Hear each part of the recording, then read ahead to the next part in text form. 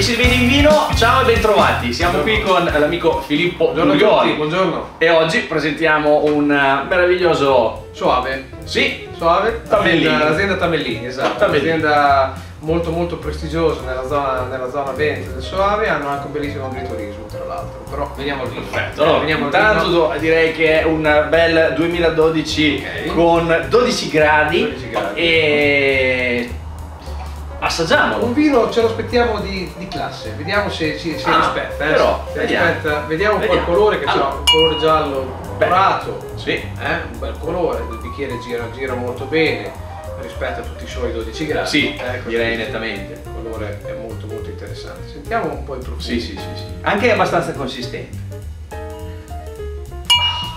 Beh, i profumi direi che saltano al naso diverse cose. Probabilmente la prima è minerale, Molto, è filo molto, molto. minerale, quindi settori minerali. Poi un po' netta frutta. Netta frutta, Mm. molto matura, molto gialla, eh, Sì. rispetto di Soave solitamente non regala grandissime emozioni. Invece, E invece Tamellini riesce a tirare fuori dei profumi quasi aromatici da Sì, questo- da sì, sì, sì, Soave. sì. Frutta potrebbe essere un po' di ananas, un po' di banana. Po' di e poi arriva la- i fiori, qualche fiore giallo, tipo della caccia o anche qualcosa di particolare, visto che siamo in tema di marzo.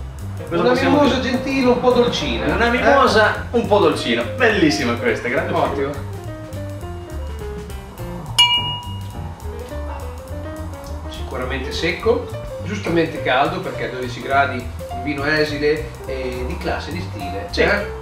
Poi lascia una bocca, comunque la mineralità ritorna. Sì. Eh, io la sento, la sento tanto, non disgusta questa mineralità, anzi ti asciuga bene eh, il palato e ti invoglia bene ancora Sì, qualche calice. una bella di persistenza. buon anche, soave. quindi- Ce l'abbiamo ancora in bocca, Ottimo. quindi una bella, una bella persistenza. Oh, direi che Ci aspettavamo un vino di classe. e ce l'abbiamo. Infatti ce l'abbiamo. Infatti ho un'idea per l'abbinamento. Beh, intanto serviamolo a 10-12 gradi, Sì. quindi fresco. Ma non E troppo.